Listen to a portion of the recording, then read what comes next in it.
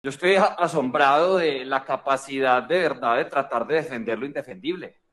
Es que tratar de decir que este proyecto se puede arreglar es como decía un congresista, como hace un tiempo, que es como tratar de perfumar un bollo. Esto definitivamente no tiene arreglo. Es que esto se lo tiraron y hoy no tiene solución.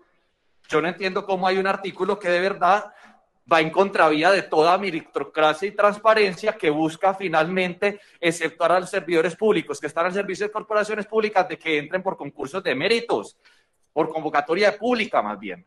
Es que esto es tratar de saltarse de todas las formas cualquier medida mínima de transparencia. Aquí deberíamos hacer, de hecho ya tenemos una vaca, ya 10 personas se han sumado a la vaca para hacerles una placa aquí a los autores de esa ponencia para que al país no se le olvide semejante defecio si esto llega a pasar. Yo no entiendo cómo insisten en defender algo que es indefendible. Esto no es una reforma a la justicia, ya todo el mundo argumentó de por qué no es. Entonces yo sí les pido, por favor, que pasemos es simplemente una votación de archivo de la ponencia que presenta el doctor Inti de un proyecto de ley que terminó siendo algo completamente contrario y diferente al objetivo inicial que terminaba pareciendo tener sentido, pero esto ya no lo tiene. Entonces no traten de maquillar y de argumentar y de confundir lo que no se puede confundir.